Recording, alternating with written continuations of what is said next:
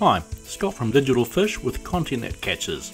I had planned an afternoon fish up the Hibiscus coast that would see me fishing late into the evening. The moon phase looked okay and a gentle northeasterly was improving the wave action on the rocks, so I pulled out the kayak and loaded up to paddle out to find a rock spot to fish the next 8 hours or so. On my way out, I surprised something in the waves, maybe a kahawai or mullet, Whatever it was, it was good to see fish in the shallows feeding. Looking for a spot to land wasn't difficult, it was looking for a ledge that wouldn't be submerged in the next few hours that was going to be the challenge. I knew I may have to move around as the tide crept up the rocks and the sun went down. I found a spot and set up. Most of the afternoon, snapper of various sizes jumped the bait and got caught.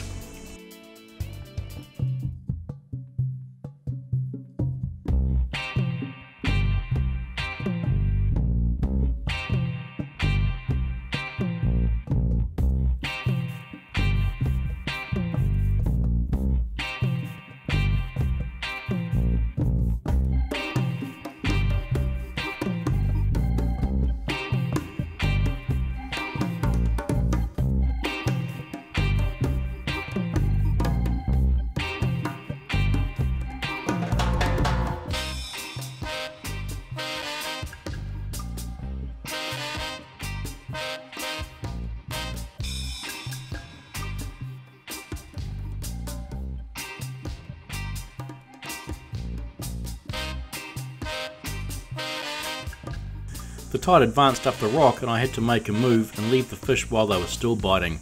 There was about an hour of daylight left, so I had some time to find another spot to fish the night. I saw a ledge that looked safe and set up the gear again.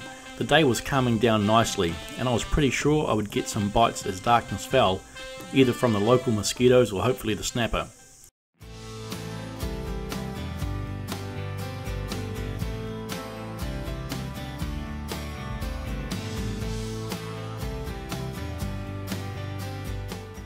I was trying to figure out if I should be casting out over the sand and mud with a light ball sinker attached or fishing in close over the kelp with just a hook and bait. There were oyster beds in close so I tried out further but the action wasn't very fast. I was checking behind me to make sure I wouldn't get cut off as the tide got higher and got a fright as I saw a good sized ray swimming in the shallows. One bait ended in a bite off, probably a shark considering it was 40 pound leader. My strategy was to let the bait sink and slowly retrieve it along the bottom I got a good hit and had a heavy fish fighting me every inch. I knew there was a rocky lip with line cutting oysters on it, so I had to put hard pressure on and keep the rod lifted high to avoid getting cut off.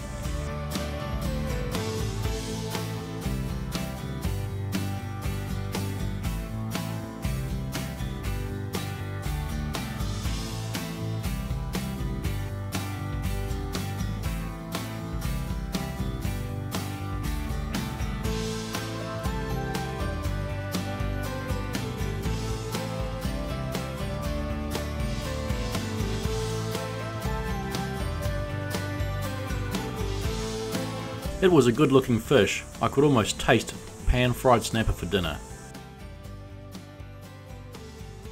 It had swallowed the hook even though I'd been slowly retrieving the bait. The slow retrieve seemed to work well and I was into another fish.